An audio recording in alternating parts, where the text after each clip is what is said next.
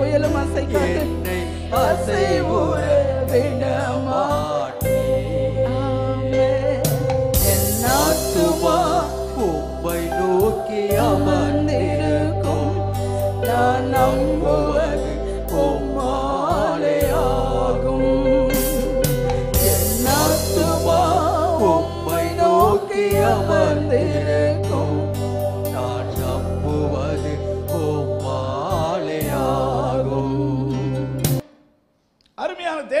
பிள்ளைகளே இந்த வேதத்தில் சொல்லப்பட்டிருக்கிற அத்தனையும் அக்யூரேட்டானது என்று ஸ்தோத்திரம் தற்கால புதைபொருள் ஆராய்ச்சியாளர்கள் வேதத்தில் சொல்லப்பட்டிருக்கிற எல்லா காரியங்களும் அப்படியே உண்மையானது என்பதை கண்டுபி கண்டுபிடித்து உலகத்துக்கு நூற்றுக்கு நூறு வேதம் சொல்வது உண்மை என்று நிரூபித்திருக்கிறார்கள்.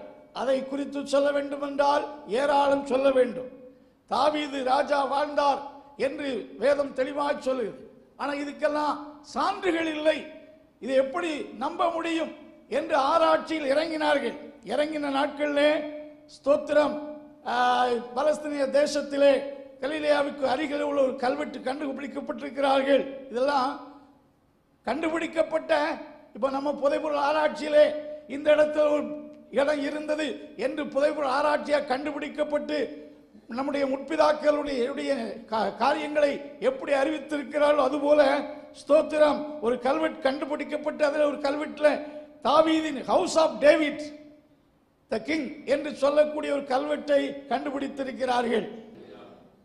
ஸோ வேதத்தில் சொல்லப்பட்டிருக்கிற எல்லா காரியங்களும் ஸ்தோத்திரம். இன்றைக்கு இருக்கக்கூடிய விஞ்ஞான விஞ்ஞானிகளுக்கெல்லாம் வழிகாட்டியாக இருப்பதே கத்தருடைய வார்த்தை தான் நாகாய ஆகாய விமானத்தை கண்டுபிடிக்க கண்டுபிடித்து இன்றைக்கு எல்லாரும் ஃப்ளைட்டில் பறக்கிறார்கள். ஒரு காலத்தில் ஆகாய விமானம் என்று சொன்னால் என்ன என்று யாராலும் கற்பனை மு- பண்ண முடியாது. நான் சிறுவனாக இருக்கும்போது கிராமத்தில் ஒரு லாரி வந்து விட்டாலே என்னமோ பெரிய ஒன்று வந்து விட்டதாக அந்த லாரியை சுற்றில் எல்லா மக்களும் போய் நிற்பாங்க. எப்பாவது மாதத்துக்கு ஒரு முறை கருப்பு கட்டி ஏற்றுவதற்கு வில்லேஜுக்கு வரும். அதையே பெரிய ஒன்றா பார்ப்பார்கள். இந்த ஃப்ளைட் என்று சொல்லக்கூடிய இன்றைய சர்வசாதாரணம். ஆனால் இந்த ஃப்ளைட்டை கண்டுபிடிக்க மூல கருவியாக இருந்த ரைட் பிரதர்ஸ் அவர்கள் இதை குறித்து எப்படி ஆகாயத்தில் பறப்பு பறக்கும் ஃப்ளைட்டை கண்டுபிடிக்கலாம் என்பதற்கு அவர்களுக்கு தூண்டுகோலாக இரு- இருந்தது.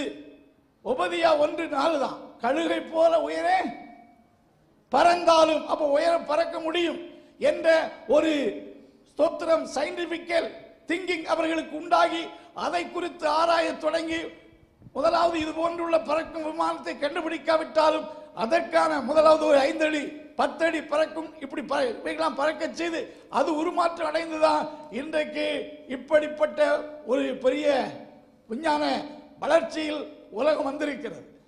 நான் நினைக்கிறேன்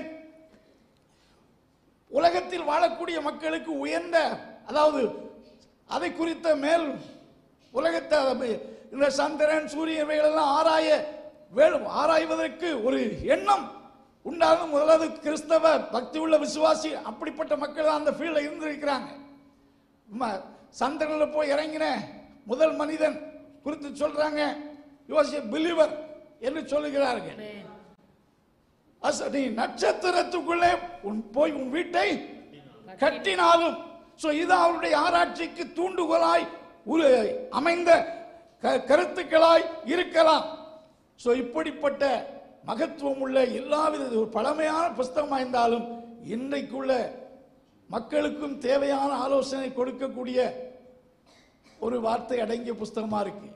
அருமையான கத்துடைய பிள்ளைகளே ஸ்தோத்திரம். இந்த புதைவுறு ஆராய்ச்சியாளர்கள் இந்த ஹென்றி ரெவில்சன் என்பவர் ஈராக் தேசத்திலே பெல்சாத்தார். அதாவது நேபுகாத் நேச்சாருடைய பேரன் ஒரு கல்வெட்டு கண்டுபிடித்திருக்கிறார்கள் பெல்சாத்தர். அதாவது ஸ்தோத்திரம் நேபுசாத நெப்போனியஸ் அதாவது அவனுடைய குமாரன் நேபுகார் நேபுகாத் நேச்சாருடைய குமாரன் நெப்போனியஸ். ஸோ அவன் யுத்தத்துக்கு போகும்போது தன்னுடைய ராஜ்ஜியத்தை பெல்சாதரிடத்தில் ஒப்படைத்து விட்டு சென்றான் என்ற ஒரு கல்வெட்டும் கண்டுபிடிக்கப்பட்டிருக்கு. ஏன் இதை கூறின்னு சொன்னால் வேதத்தில் சொல்லப்பட்டிருக்க எல்லா ஹிஸ்டாரிக்கல் பாக்கி எல்லாமே நூற்றுக்கு நூறு அக்யூரேட்டா இருக்கிறது என்பதை இன்றைக்கு புதைப்பொருள் ஆராய்ச்சியாளர்கள் கண்டுபிடித்திருக்கிறார்கள். உலகத்திலேயே அதிகமாய் நூற்றி விற்கக்கூடிய புஸ்தகம் எது என்று சொன்னால் அதாவது சாரி செல்போன் இந்த ஐட்டம் இல்லை நான் அதை சொல்லல. புஸ்தக வடிவிலே உலகமெங்கும் விற்கப்படக்கூடிய புஸ்தகங்களின் எண்ணிக்கையில் ஒவ்வொரு ஆண்டும் நாளுக்கு நாள் அதிகரிக்க விற்பனையில் அதிகமாய் இருக்கக்கூடிய புஸ்தகம் தான் கத்தருடைய வார்த்தை தான் it is the best selling book in the world ஒரு வருஷத்தில் நூறு மில்லியன் அதாவது கிட்டத்தட்ட பத்து கோடி பைபிள் பிரிண்ட் செய்யப்பட்டு மக்களுக்கு விற்பனை செய்யப்படுகிறது. அதை அல்லது கிஃப்டாக கொடுக்கப்படுகிறது. வருஷத்துக்கு பத்து கோடி புஸ்தகங்கள் உலகம் முழுவதிலும் பிரிண்ட் ஆகி விற்கப்பட்டு வருகிறது என்று சொல்லுகிறார்கள். பத்து கோடி புஸ்தகம் உலகம் முழுவதும் பிரிண்ட் ஆகி அந்தந்த ஆண்டிலே விநியோகிக்கப்படுகிறது. புதிய ஏற்பாடு ஹோல் முழு பைபிள் என்று சொல்லப்படுகிறது. உலகத்தில் எல்லாம் நிறைய மக்கள் வாசிக்கக்கூடிய ஒரு புஸ்தகம் உண்டானால் என்னதான்? பைபிள். ஆனா நாம வாசிக்க மாட்டோம். வாசிக்கிறோமா? உலகம் முழுவதிலும் அதிகமாய் மக்களால் வாசிக்கப்படக்கூடிய புஸ்தகம் எது என்று சொன்னால் வேதாகமம். தான் ஏதோ ஒரு பகுதியை ஒவ்வொரு நாளும் மக்கள் பல கோடிக்கணக்கான மக்கள் வேதாகமத்தின் பகுதிகளை வாசிக்கிறார்கள். உலகம் முழுவதும் அதிகமான மக்களால் வாசிக்கப்படும் புஸ்தகம் எது என்று சொன்னால் இந்த வேதாகமம் தான் நீங்களும் அதை வாசிக்க வேண்டும் டெய்லி வாசிக்க வேண்டும்.